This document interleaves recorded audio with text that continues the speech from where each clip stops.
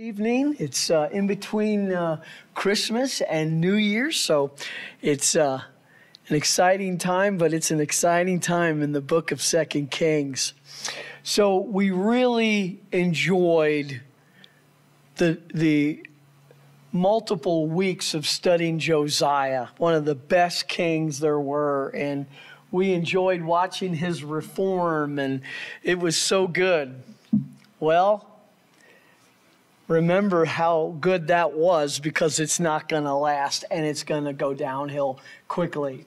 So we said we had come to the last five kings of the southern kingdom, the northern kingdom, they're gone. We'd come to the last five. Josiah is down, and now there's four.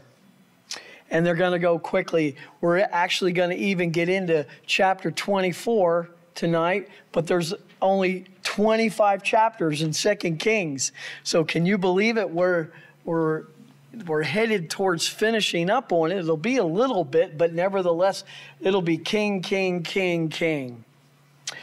Well, tonight we're going to cover two kings because one of them is only going to be a king for three months. And then we're going to see another king, and, and he's going to have a little longer time. What's going to be interesting tonight is uh, I just want to spend just a little bit of time talking about Jeremiah and his ministry with these five kings. I want to just spend a little time talking about Pharaoh Necho because he's still in it, he's still going on. And then we're actually going to see Nebuchadnezzar, his name being mentioned. He's going to come in the scene and he's going to stay in the scene because he's the king of Babylon, and eventually, within a short period of time, he is going to rule really the world and that part. Well, with that, tonight we're going to study Jehoahaz and Jehoiakim. So we're, we'll only have two left after we're done with these guys. But before we go any further, let's just bow in a word of prayer. Heavenly Father, thank you for your word. Lord, it is the rock basis of truth, Lord, and we just thank you for that, of what we believe and how we should live, but also the, the lessons that we learn from biblical history, especially how your hand works with individuals and with nations. And so, Father, would you continue to teach us those lessons, even as we apply them to our lives in our day and age? And we'll thank you, Lord. In Jesus' name, amen. All right, so uh, quickly we'll take a look, real quick, at the kings of Judah and the kings of Israel. As we said before, the kings of Israel, they stopped with Hoshea. And that was way back when we were discussing Ahaz uh, there in the southern kingdom. Well, we've gone through Hezekiah, and then we've gone through Manasseh. His name will come up again. Amon, and then Josiah, and then his son Jehoahaz, and his other son Jehoiakim. So we're going to see these kings as they're, they're brought out. Well, let's just do a review Last week, we really did finish up with Josiah, the death of Josiah. We saw one more detailed reform. It was a reform of personal religion or personal idols. He, he destroyed the big places on the high places, he destroyed the altars, but now he went after even the personal gods and, and had another reform. 2 Kings 23 25 says that he was indeed the greatest of the divided kings. So I, I don't think he's putting him over David, because David is always the standard. But after David and these kings and the divided kingdoms, Josiah rises to the top. Um, we did hear from the prophet that it doesn't matter, Judah's still going down. But in the days of Josiah, he would be promised peace.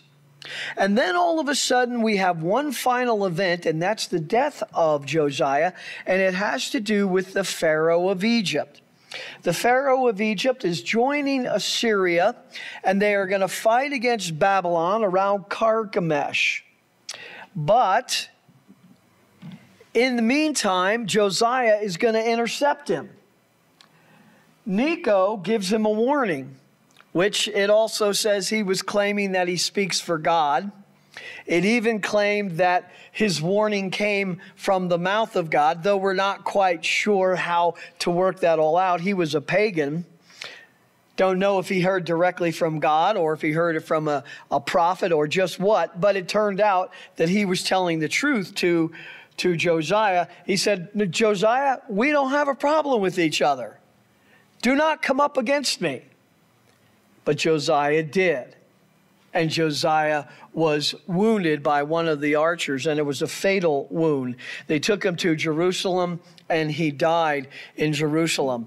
And, we asked ourselves last week, well, why would he do that? Um, you know, why didn't he listen to reason when Necho said, Look, we don't have anything against each other. Why, why should I have to defeat you? But we, we see that you remember that Assyria is involved. And what did they do? Well, they just took the entire northern kingdom, is what they did. And so Egypt, Necho, going to ally with Assyria.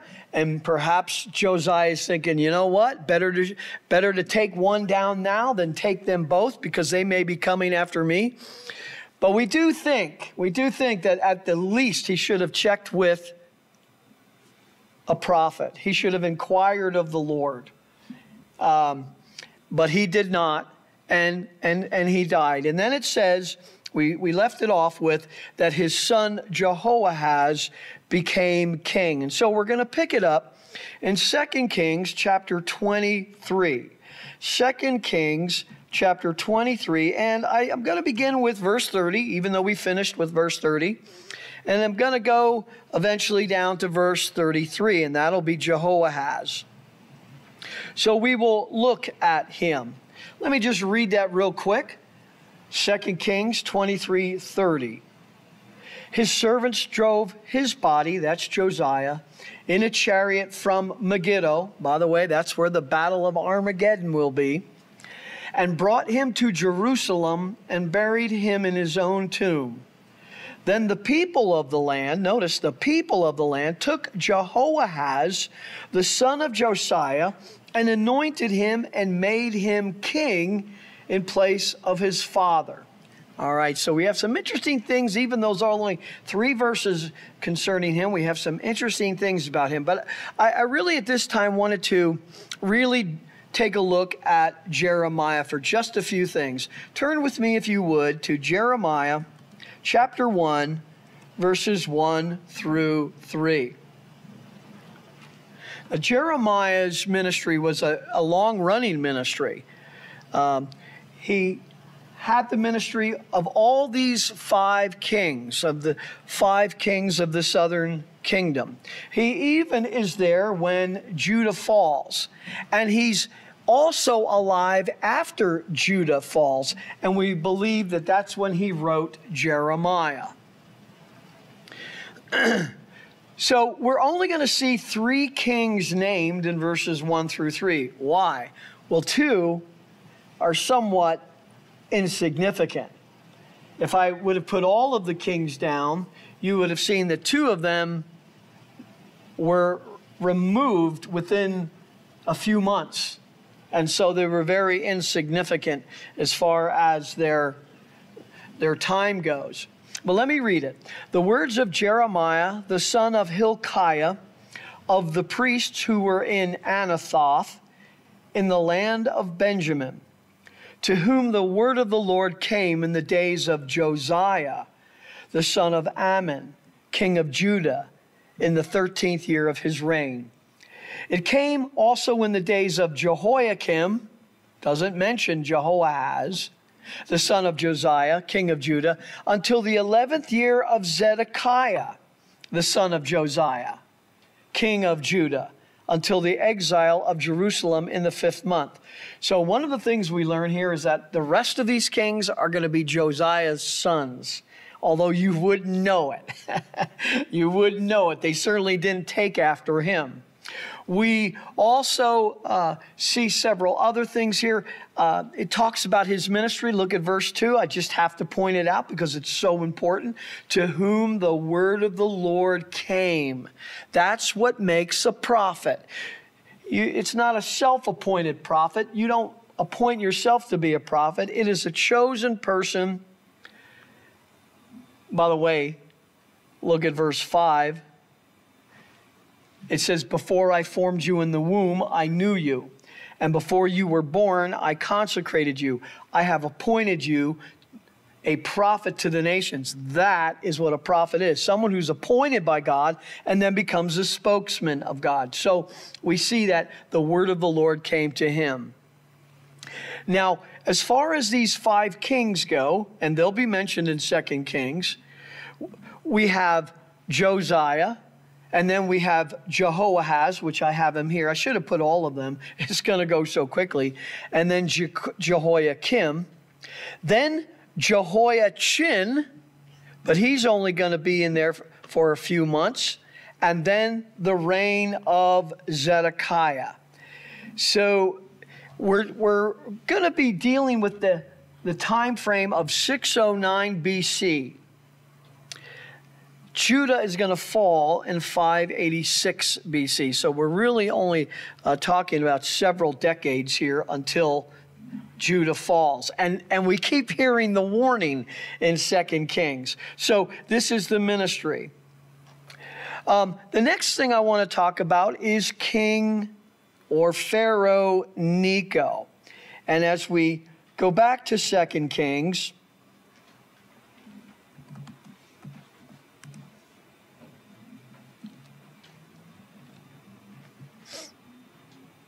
we're going to see Pharaoh Necho mentioned in verse 33. And he's going to be mentioned in some of the other verses. Pharaoh Necho. So let's talk a little bit about him. Uh, besides, he's the one who one of his archers killed Josiah. Now, Josiah was disguised, but, and so uh, whether it was just uh, an archer shooting a random arrow, like the one that, that got Ahaz, um, or it was he thought he was a soldier. It's besides the point.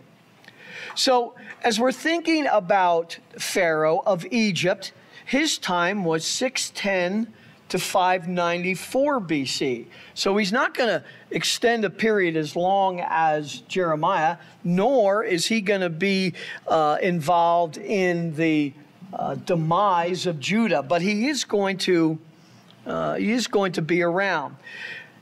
It says, the great event of his reign was his expedition across Syria to secure for himself a share in the decaying empire of Assyria. Egypt had been tributary to Assyria.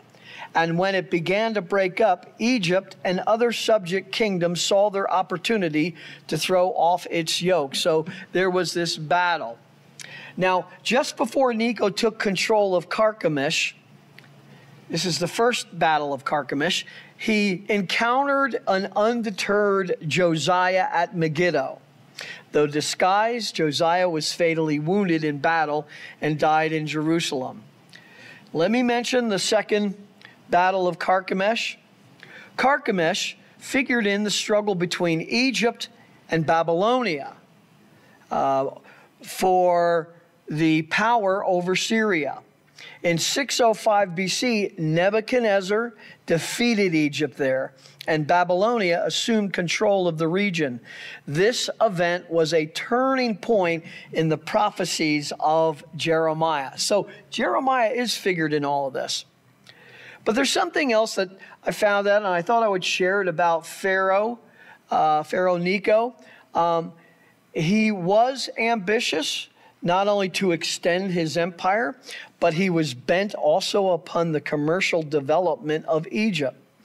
And so he did works there in Egypt, but also, too, some of it was military. For this he set himself to collect a navy. He had two fleets built composed of triremes, which I had to look that up. That is an ancient ship with galley having three banks of oars. So it's it's uh, you know it's running on all oars of cylinders. One of them to navigate the Mediterranean and the other to navigate the Red Sea. So he's building up his navy. But it says, in order to secure a combination of his fleets, he attempted the reopening of the canal between the Nile and the Red Sea, which had been originally constructed by Seti I and Ramses II, two pharaohs of the days of the Israelite oppression.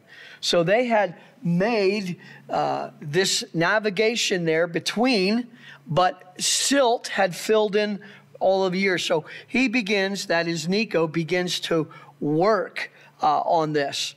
He excavated this old canal, following the line of the former cutting and widening it so that the two triremes, these two battleships, might meet and pass each other in it.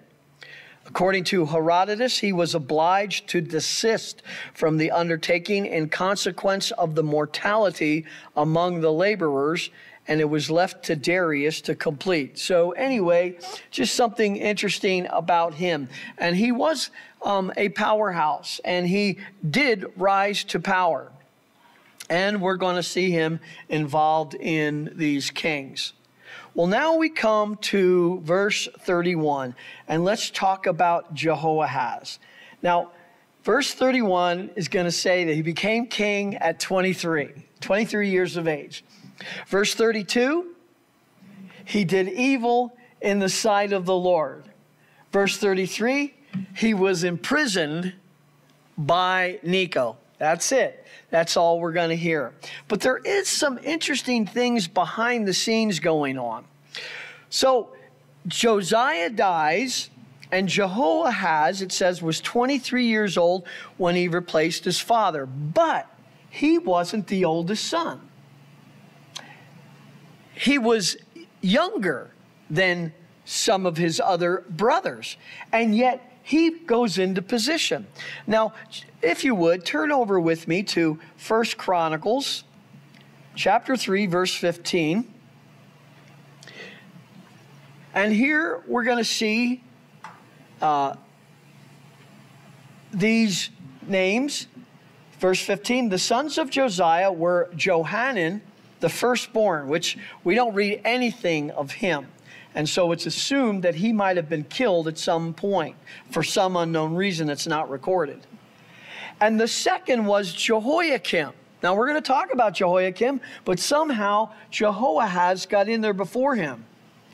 The third, Zedekiah. And the fourth, Shallum, which is also Jehoahaz. Okay, so wh- how did he get in there? Well, one of the things that we find out, if, if you look at verse 31, it says Jehoahaz was 23 years old when he became king. He reigned three months in Jerusalem, and his mother's name was Hamutal, the daughter of Jeremiah of Libnah. Now, not our prophet Jeremiah. Remember, we just read a moment ago that he was from Anathoth. This was from Libnah. Now, what does this have to do with anything? Well, there is a little speculation, but it's not. It's it, it, it's not far fetched. Um, there's hardly anything riddle, rit, riddle about Hamutal, written about Hamutal, and perhaps she was very instrumental in seeing that he became king. You know, in, in the books of 1st and 2nd Kings, we've seen mothers come in and jockey for position with their sons. We've even seen a mother jockey in position for her to be queen. So that wouldn't be out of the question. We've seen aggressive mothers. Um, but he had a different mother than Jehoiakim. Jehoiakim's mother's name was uh, Zeb, Zeb, uh, Zebidah. Zebidah. So it's the same king, same father, but different mothers. Now, there's one other idea that might be going on here because it says that the people put Jehoahaz in. Why would they do that? Well, it says that she was from Libnah. And a little bit of history in Libnah. In fact, we'll turn there to 2 Kings 8:22. In 2 Kings 8:22, it talked about that the Edomites revolted against Judah and Libnah, who was a part of Judah, joined them. It says, chapter 8, verse 22. So Edom revolted against Judah to this day. Then Libnah revolted at the same time. The idea is that perhaps this was a political move. Uh, Libnah, not too sure about where they stand, but in order to make sure that they're allies, we've got a perfect situation. You remember it was Solomon who was certainly. Um, uh, he was the one that was marrying all of these women uh, so he could make all of these allies. So it's not the same, but there is a mother there who's from Libnah. So, one reason or another, he usurped his older brothers. Well, look at verse 32. It doesn't really matter much because he was evil. But then again, so were his brothers. But let's take a look at 2 Kings 23 32. And here we see the familiar verses. He did evil in the sight of the Lord. And by this time, we see that that has been used some 30 times in both 1 Kings and 2 Kings. It's, it's, it's really like a theme. Uh, but one of the themes that we don't see is according to all that his fathers had done. And of course, we're thinking of Josiah. And then if the father wasn't a good king, it would be according to all that David did. So, what we find here is that he did evil. And of course, in the book of Kings, most of the time when it refers to evil, it's referring to idolatry. Now, believe me, that's not the only sin that they do. And we're going to actually get into a little detail of that. But the truth of the matter is that um, he did evil, and, and much of it was about idolatry. Well, we come to verse 33 then. And it says, Pharaoh Necho imprisoned him at Riblah in the land of Hamath, that he might not reign in Jerusalem. And he imposed on the land a fine of 100 talents of silver and a talent of gold. Well, why? What happened? Well, it doesn't exactly say what happened, but it is interesting. He obviously wanted gold and silver from Judah. Evidently, Jehoahaz didn't want to give any to Pharaoh Necho. So he being Necho, he imprisoned Jehoahaz, and then he put this tax on Judah. And where it says that it was um, 100 talents of silver and a talent of gold, that would be 750 pounds of silver and seven and a half pounds of gold. And this was the taxation that was placed on uh, Judah. By the way, Someone has once said, This is why the Jewish people didn't like kings over them, uh, foreign kings, if you will.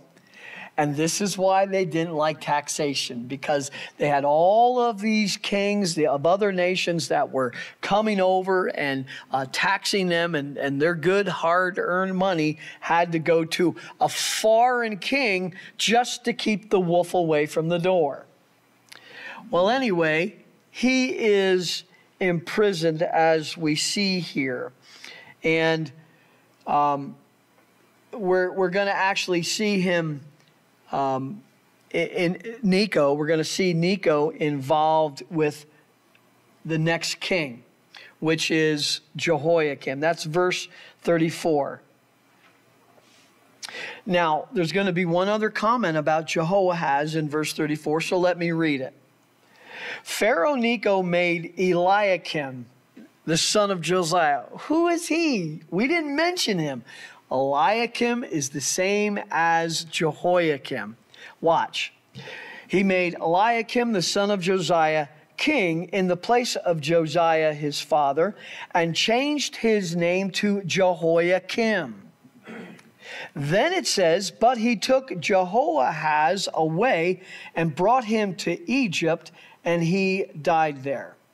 So, because Jehoahaz didn't want to give taxes to Necho, what do you do? Well, instead of killing him, I suppose it was merciful, but he imprisoned him. Um, we, we have seen it already in the book of Kings where such imprisonment wasn't the worst thing in the world. Uh, we saw some of these kings being taken care of, but we don't know for sure, and you don't have to. Um, I can imagine that Necho wasn't too happy with Jehoahaz, but anyway, he, they, he finally took him from Riblah to Egypt, and he ended up at some point dying there.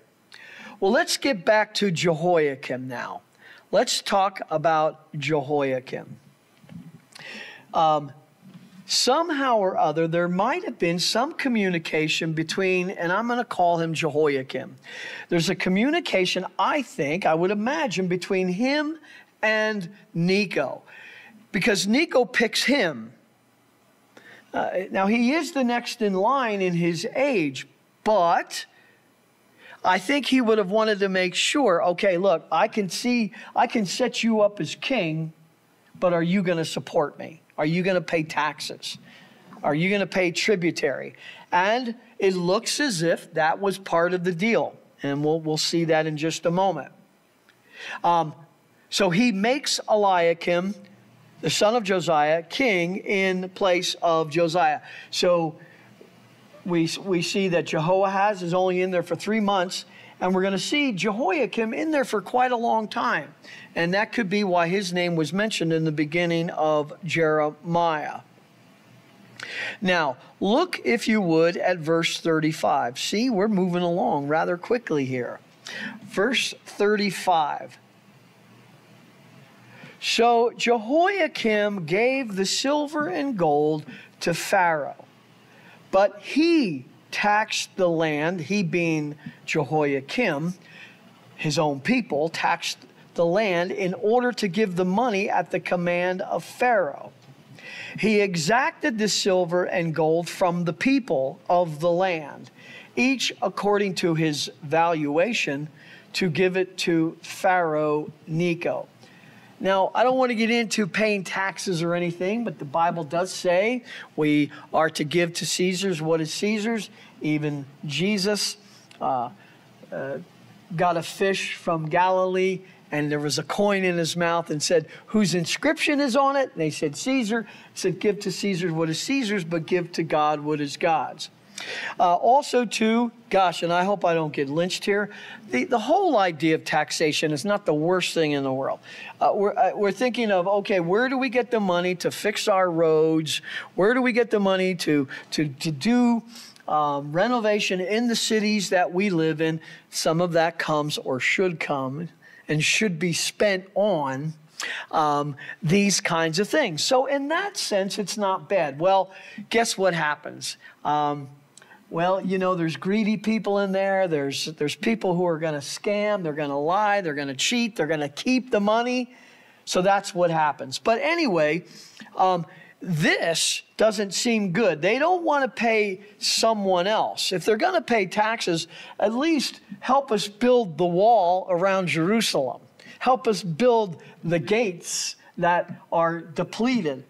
But no, it's going to Egypt with Pharaoh Necho.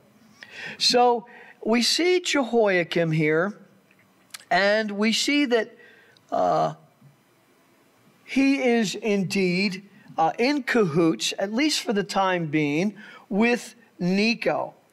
Now, um, I want to mention something here, a little technical. Okay, so when we were looking at First Chronicles 3:15, do you remember how it said third Zedekiah and then fourth Shallum or Jehoahaz? Even though it mentioned Jehoahaz last, Zedekiah was the youngest. We're going to find that out because when Zedekiah becomes king, we're going to say, oh my word, 11 years passed and he's still in his early 20s. Well, then why did First Chronicles order it that way? Um, well, first of all, because it doesn't say that it's ordering it in the way of chronology. Um, they ordered it, we believe, the author ordered it that way in, in who was going to be a main king. And we see Zedekiah, who's, who's going to be king longer than Shallum, no better than Shallum, but he's going to be a king longer. So his name was mentioned uh, before uh, Jehoiakim. Kim and uh, I'm sorry, Jehoahaz. Uh, again, Johanan's name is not there, even though he's the firstborn, and no one really knows. And so it's assumed that he died for one reason or another. Um, all right, so let's look now at verse 36. Jehoiakim was 25 years old. Now you remember it said Jehoahaz was 23 years old. He only lasted three months. So within the same year, Jehoiakim was 25, so that was their age. Now we're going to find out later that Zedekiah, when he becomes king, he's in his 20s as well. So that means he's not in his 20s now. He's younger than. In fact, some have said that he's he may have been like uh, the age of uh, 10 or something when Jehoahaz was king. It says he became king and he reigned 11 years in Jerusalem. And his mother's name was Zebidah, the daughter of Pedaiah of Rumah. So we do see this idea of different mothers. Same father, but different mothers. Well, what about him? Was he going to take after his father Josiah? Not hardly. Verse 37 Here we go again. He did evil in the sight of the Lord according to all that his fathers had done. So we see this mentioned once again. And we have a little bit of insight from Jeremiah. Jeremiah talks about Jehoiakim and not well at all. And he was guilty of the sin of idolatry and a whole a whole host of other sins as well. So I want to just take a moment here and look at Jeremiah, since Jeremiah is the prophet of this time, specifically with uh, these kings. Let's first turn to Jeremiah chapter 8, verse 19. Jeremiah chapter 8, verse 19. It says, Behold, listen, the cry of the daughter of my people from a distant land. Is the Lord not in Zion? Is her king not within her? Why have they provoked me with their graven images and foreign idols? Now, when it talks about where they are, that's a reference to they're in captivity. And Jeremiah is going to give that prophecy over and over and over. But notice it says, Why have they provoked me with their graven images and foreign idols? That seems to be the big sin. Uh, chapter 9, verses 13 and through 16. I'll read that. You don't have to. The Lord said, Because they have forsaken my law, which I set before them, and have not obeyed my voice, nor walked according to it, but have walked after the stubbornness of their heart and after the Baals, as their fathers taught them. Therefore, thus says the Lord of hosts, the God of Israel Behold, I will feed them, this people, with wormwood, that's bitterness, and give them poison water to drink. I will scatter them among the nations whom neither they nor their fathers have known, and I will send the sword after them until I have annihilated them. Now, again, when we read these things in Jeremiah, it isn't the first time or the first prophet that has said these things. Prophets have been saying these things. Even the scripture that God gave to Moses in Deuteronomy was saying these things. Even in the book of Exodus, these things are mentioned over and over and over. No one can question the long suffering of God, but be careful because it does and can come to an end. And then also in chapter 10, you don't have to turn there, but he will talk to them about idols and much the same same way. He, I, I do like a little bit of the logic that he uses there. He's talking about these nations and their idols. He says, Because it is wood cut from the forest, the work of the hands of a craftsman with a cutting tool. So it's so interesting. So interesting you have these idols that they went and chopped them down and then they crafted them. That's their God. They crafted their God. It says, they decorate it with silver and with gold. They fasten it with nails and with hammers so that it will not totter. If it's a God, it shouldn't totter. But it's not a God, it's a false God. It says, like a scarecrow in a cucumber field are they, and they cannot speak. They must be carried because they cannot walk. What kind of God is it that cannot walk? Do not fear them, for they can do no harm, nor can they do any good. There is none like you, O Lord, Jeremiah says. You are great, and great is your name in might. So that goes on. Uh, remember in Isaiah, I love what Isaiah says. He says, you, you chip away and you carve this idol, and then you take the wood chips and you go cook burgers and you grill with it at night, and you have your meal. That's from this, this supposed God. And yet, they were plagued with idolatry. But Jeremiah spends quite a bit of time talking about Jehoiakim, who committed other sins. And uh, some of them are mentioned as he was re- represented as a monster who despoiled his own people. He opposed the Lord's servants, the prophets, and he filled the land with violence, apostasy, and degradation. So, first of all, let me read from Jeremiah 22 through 13. It says, Woe to him who builds his house without righteousness, and his upper rooms without justice, who uses his neighbor's services without pay, and does not give him wages. Let me just stop there. Well, we would have a problem with that in any generation. You know, you, you see people always upset of they, they do work, but they don't feel as if they're getting the pay that they deserve. And that, I mean, we've seen that in history. But do you remember Josiah? The first thing that he did when he started out was he took the money from the treasury and he called all these craftsmen, and the money was there to pay them ahead of time. So we, we see this in the realm of justice. We see this in the realm of goodness on Josiah's part. But Jehoiakim, uh uh-uh. uh He, you know, he did take one lesson from his father.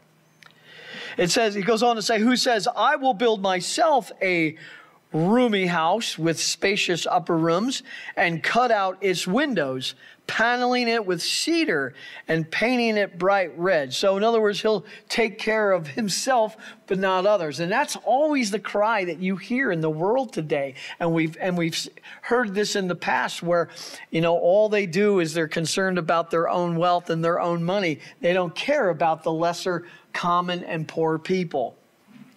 So, anyway, our generation, our history, recent history, is not the first to be guilty of that. But it says that he opposed the Lord's servants. And, and so there are a couple of things that we want to see there. Um, in Jeremiah 26, uh, tur- go ahead and turn there. And uh, those of you who have gone through Jeremiah with me, you may have remembered this. So, what happens in a time when the king does not serve God and doesn't want to hear from God, but there is a prophet of God there. Well, it says, Jeremiah chapter 26, beginning in verse 20, Indeed, there was also a man who prophesied in the name of the Lord, Uriah, the son of Shemaiah, from Kiriath Jearim. And he prophesied against this city and against this land words similar to all those of Jeremiah. Now let's stop right there. This is kind of interesting. So the king had other false had false prophets, other prophets who were false. And we see even in the book of Jeremiah that there was this battle that these false prophets were always saying, King, don't worry, nothing's going to happen. You're going to be okay. And Jeremiah saying, you got to repent. It's at the door. Well, here's another prophet, Uriah, and he's saying the same thing Jeremiah is. He's a true prophet. Now, watch what happens. When King Jehoiakim and all his mighty men and all the officials heard his words, then the king sought to put him to death. But Uriah heard it, and he was afraid and fled and went to Egypt. Then King Jehoiakim sent men to Egypt. Elnathan, the son of Achbor, and certain men with him went into Egypt. And they brought Uriah from Egypt and led him to King Jehoiakim, who slew him with a sword and cast his body into the burial place of the common people. That's Jehoiakim. Now, Jeremiah is also a prophet at this time, too. And God spares Jeremiah. But they wanted, at times, these kings, these sons of Josiah, wanted to kill him. They ended up putting him in a cistern where he probably would have rotted and died. But again, the Lord did not allow that. So this is, this is what's being said about him opposing the Lord's servants. Um, as for the violence, uh, and apostasy. Um, we read in Jeremiah 18 18, then they said, Come and let us devise plans against Jeremiah. Surely the law is not going to be lost to the priest, nor counsel to the sage, nor the divine word to the prophet. Come on and let us strike at him with our tongue, and let us give no heed to any of his words. Do give heed to me, O Lord, and listen to what my opponents are saying. Should good be repaid with evil? For they have dug a pit for me. Remember how I stood before you to speak good on their behalf, so as to turn away your wrath from them? Well, you actually have two things going on here. Here's still this violence and this apostasy and degradation. But we have seen in the book of Jeremiah where Jeremiah cries out to God, Lord, what's going on? Am I not serving you? In fact, we, we even see a time when Jeremiah is very discouraged, and the Lord has to encourage him. But it was a tough encouragement. You know, it's a tough encouragement to look at this thing correctly and understand it from God's point of view. But anyway, we certainly see that going on. Well, this is the kind of evil that he did. And now we're going to move to chapter 24. And now we see the name Nebuchadnezzar, King Nebuchadnezzar. So we're not going to really talk a lot about him now uh, because we will be seeing more of him and we will have plenty to say. But in his days, Nebuchadnezzar, king of Babylon, came up. And Jehoiakim became his servant for three years, and then he turned and rebelled against him. And let's stop there. So one writes After the final defeat of the combined Assyrian and Egyptian forces at Carchemish, this is the second battle, Nebuchadnezzar overtook the remaining Egyptian forces at Hamath. So you remember how we said they were all jockeying, and Assyria, who was the power, is losing power. Egypt is in there. Well, here comes Nebuchadnezzar, and he's going to be the power, and he's going to uh, be raised to a place. But he's also going to be the one who takes Judah into captivity. All right, so enough about that. All right, so for three years, he's serving him. But then after that, he rebels. Um, and then we find in verse 2, look at this. The Lord sent against him, okay, the Lord sent against him, Jehoiakim, bands of Chaldeans, that's Babylonians, bands of Arameans, bands of Moabites. And bands of Ammonites. So he sent them against Judah to destroy it, according to the word of the Lord, which he had spoken through his servants, the prophets. So, what we're seeing here is two things. He's sending these nations to attack Jehoiakim because of Jehoiakim's sin. But we're also seeing that this is starting to ebb away at Judah. Now, eh, they're going, the, Judah will be destroyed, but this is kind of like their, their bands. They're not full armies, but they're bands of them, and they're starting to peck away. And if you will, it's a warning. This is what the Lord said he was going to do through his prophets. And when it starts to happen, it ought to you know, affect them, but it does not.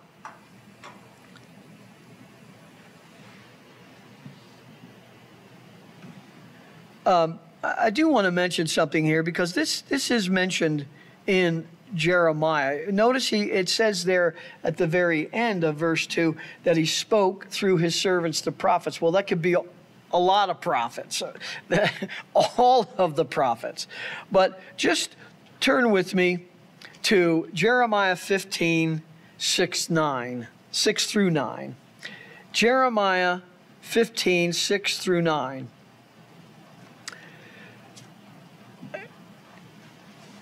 It says in verse 6, You have forsaken me, declares the Lord. You keep going backward, not towards me, but backward away from me.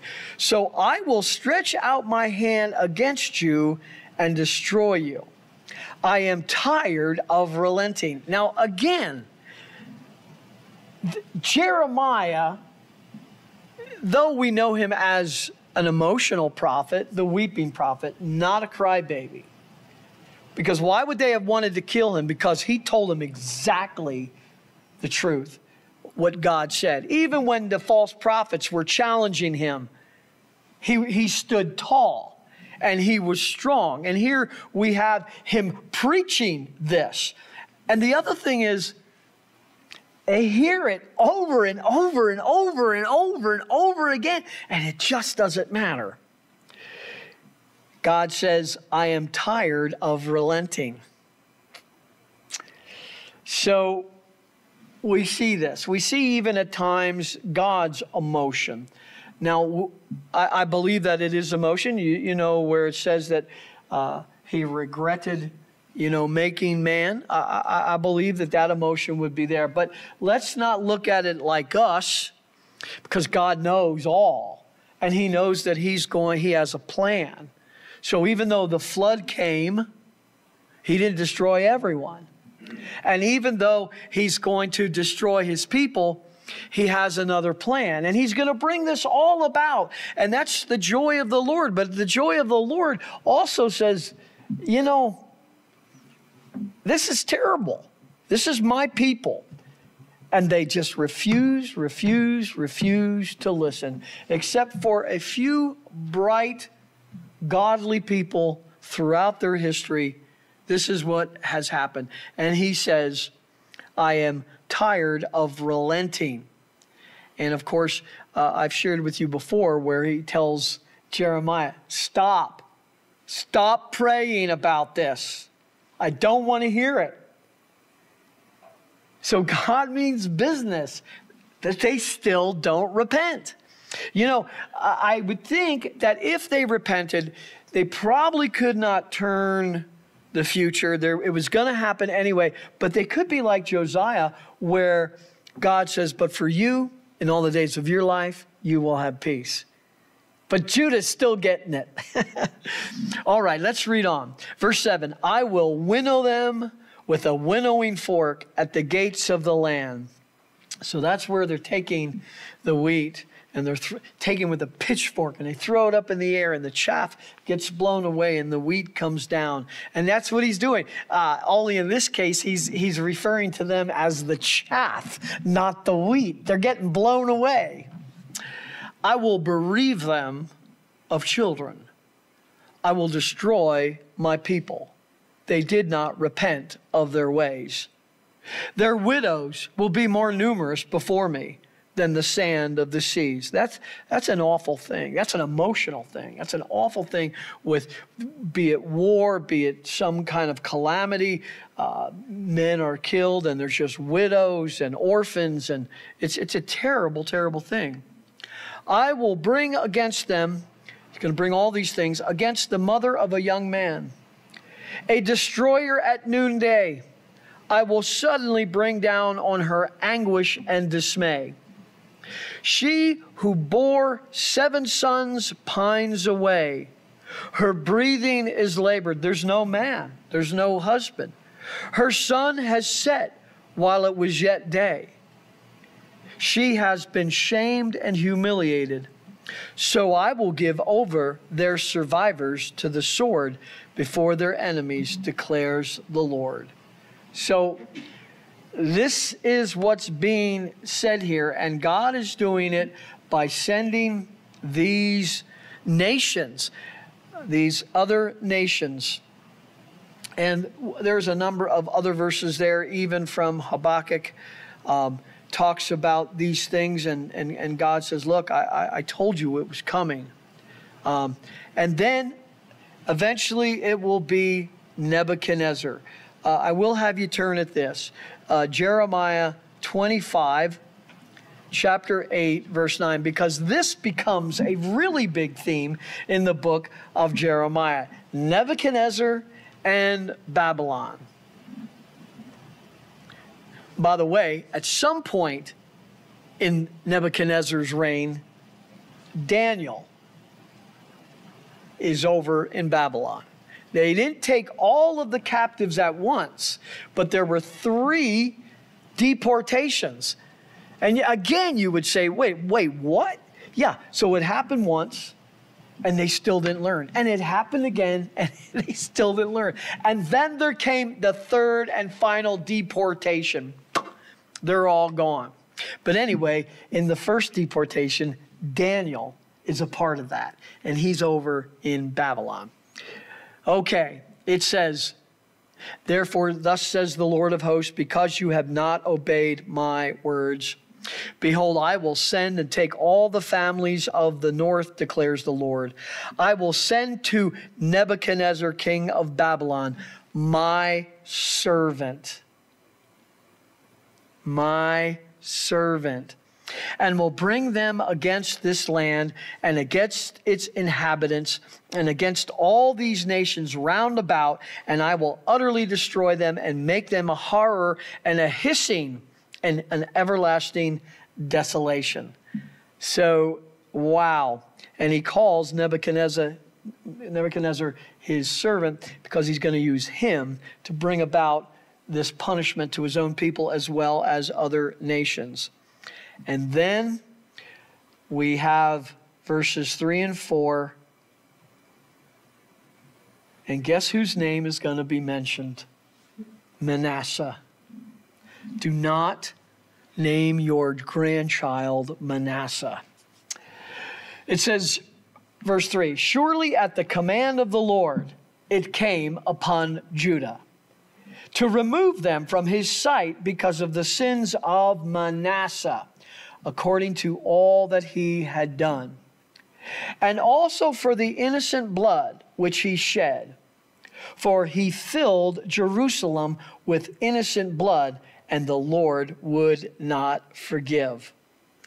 So, again, Manasseh, even though there were many evil kings, uh, we could probably say just as bad or almost as bad as Manasseh. Manasseh was really bad.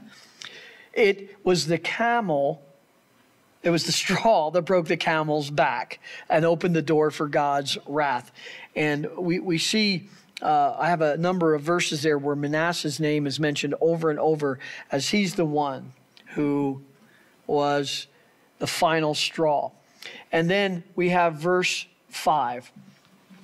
Familiar? Now, the rest of the acts of Jehoiakim and all that he did, are they not written in the book of the Chronicles of the Kings of Judah? And again, not talking about the book of Chronicles in the Bible, because if you go over to Chronicles, it doesn't, there, there isn't a whole lot more detail uh, than there is here in Kings. And we have some of these that it says that from these books, and there was nothing from Chronicles. So it's, we're talking about a royal document or a document that was kept like at the courthouse, that type of thing. Well, I want to just mention a couple things here. Uh, and we've kind of talked about this, but here it is again it is a little bit of a conundrum, not a, not a contradiction, but you do remember that even Manasseh repented at the end. And there was some blessing, but Judah was still going to get it. We have these kings that there is no repentance. So even though Manasseh is the king or the straw that broke the camel's back. There's a sense in which he's better than these kings because he repented. Now, the conundrum is that's the irony. The conundrum is that he gave personal forgiveness to Manasseh. But the sins that Manasseh committed were so grievous and influential to Judah that he would not forgive.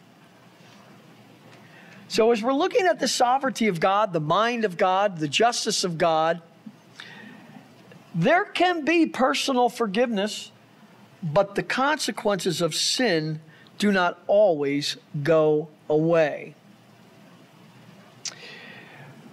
Let's, uh, let's take a look, first of all, at Manasseh's repentance. This is in Second Chronicles. Uh, I'll just read it.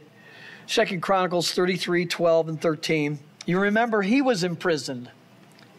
And there, eh, while he was in prison, it says, when he was in distress, he entreated the Lord, his God, and humbled himself greatly before the God of fathers, his fathers. When he prayed to him, he was moved by his entreaty and heard his supplication. That's God and brought him again to Jerusalem to his kingdom. Then Manasseh knew that the Lord was God. Now, you remember when we were going through that passage, and the first thing we thought was, oh, yeah, right. You know, he's in prison, and now he's going to get religion. Um, but it really seems as if it was very genuine with him. I mean, this verbiage sounds genuine. And then he, he went on a reform. He went on a reform. But again, he was also the guy who brought about the final breath of God's pronouncement of judgment. And it says here at, at, the end of verse 4 the Lord would not forgive. Well, let me kind of go through this. Now, first of all, let, us apply it to us as believers. Um, I, not quite the magnitude, I think, as Manasseh.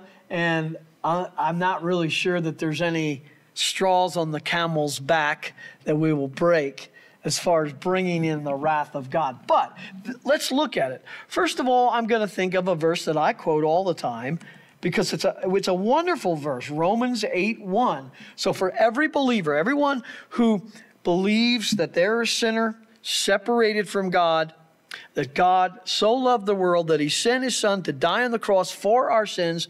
Every, sinner who places his faith in Christ as his Savior, and that alone is forgiven and given eternal life.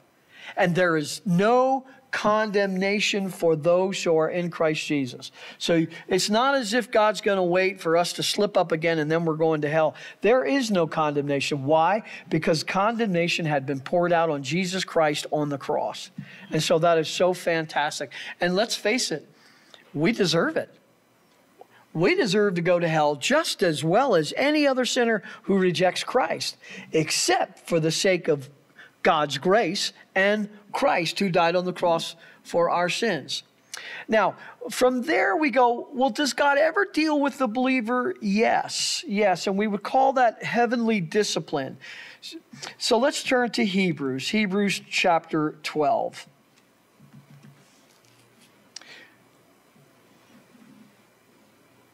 In Hebrews chapter 12, let's look at verse 5. That whole chapter is really good, but we'll look at verse 5 we go to this passage when we talk about heavenly discipline. So I think heavenly discipline can be in two ways.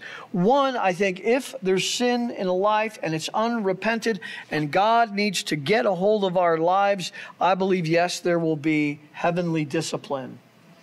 I think the other thing is, is it's not so much the discipline of sin. In other words, I'm looking at a second category. It's the discipline that we are trying to grow and be holy and mature but we struggle with the sin nature and that's got to be that's got to be dealt with and so we see god bringing things into our life that way there would even be a third area which has nothing to do with anything that we might have done wrong it would be God is trying to conform us to the image of Christ. And that's what we would want. That's what we pray for. I have a feeling we're going to hear about that this Sunday because we're going to be doing the 2023 review. So the idea is let's read it. Verse 5 And you have forgotten the exhortation which is addressed to you as sons. Remember that. My son, do not regard lightly the discipline of the Lord, nor faint when you are reproved by him. For those whom the Lord loves, he disciplines and he scourges every son whom he receives. So again, I mentioned those three areas. So one, it is for unrepentant sin. Number two, it's for maturity uh, and victory over sin. And number three, it's just to develop the character of Christ in us. Let's read on, verse 7. It is for discipline that you endure. God deals with you as with sons. For what son is there whom his father does not discipline? But if you are without discipline, of which all have become partakers, then you are illegitimate children and not sons. Wow. Furthermore, we had earthly fathers to discipline us, and we respected them. Shall we not much rather be subject to the Father of spirits and live?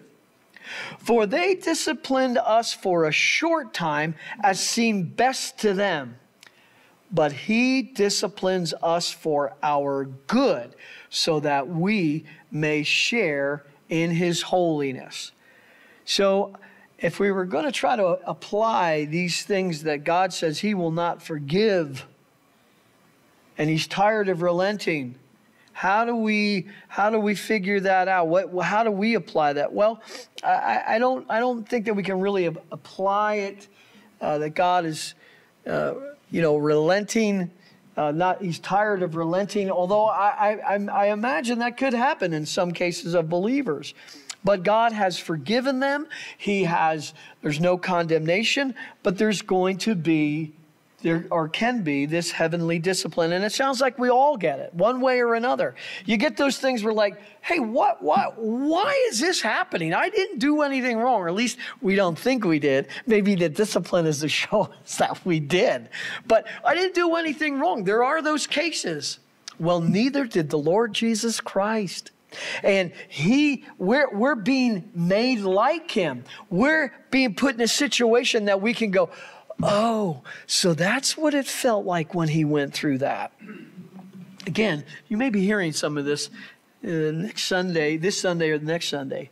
But the final thing that I want to say is, however, let's talk about consequences. Now, I would say, in all real reality, you know, how many times has the Lord really intervened and spared us. You know, in life. I mean, spared us with our sins, no question. But even in life, have you ever been in those situations where, Lord, I don't know how I'm going to get out of this? You know, um, either it was my fault or it's not my fault and I'm in it and I don't know how I'm going to get out of it. And He spares us so many times and answers our prayers. But that's not always the case. Sometimes because of our, our, our, our sin, uh, especially with unrepentant sin um, when we do repent, some of those consequences will linger on and they can be very grievous. So there's no guarantee uh, that, that because there's no condemnation, there's not going to be any consequences of our sins, either past or present. You know, either past or present. So, anyway, um, I, I, just thought that was a very, very interesting application to apply it to us. The other one is the Lord's sovereignty. We're going to talk about the Lord's sovereignty as He raises up Babylon. What's interesting is I'm, I have a lot of people, well, not a lot of people, but I've had some people ask me questions about, well, what we see today, are, is, is it signs that it's going to happen soon? Uh, and the answer is no, not necessarily. Maybe, but no, not necessarily. So someone asked me just the other day, what about that passage in Scripture that says brother against brother? Uh, and they're talking about that. Basically, what you have from a verse like that is, first of all, it's just, it, it, first of all, it's in life, in the past and the present. And it can be getting worse as it gets closer, but it will be fulfilled, completely fulfilled in the tribulation. So, how close are we? I, I don't know. But anyway, we see the sovereignty of God. Well, with all of these things, let's, uh, let's have a word of prayer and close. Father, thank you for these true events. Father, we are going through the book of Kings and we've even had to repeat applications. But Lord, there's nothing wrong with that. There's nothing wrong with it getting so ingrained in our minds, our heart, our soul that we don't forget it. And Father, we, we just ask you that, um, that really in our, our walk with you, we th- that will continually thank you that there's no condemnation. Father, when we do go through hardship, heavenly discipline, may we not faint, but may we have it and take it as joy that we're being made like Christ. And oh, Father, we do ask that any consequences that linger, we would even ask that you would spare us from it, spare others from it, Lord. And yet at the same time, we know that you are wise and you are sovereign and you bring about your perfect will in our lives. We'll just thank you for that, Lord. In Jesus' name we pray. Amen. So.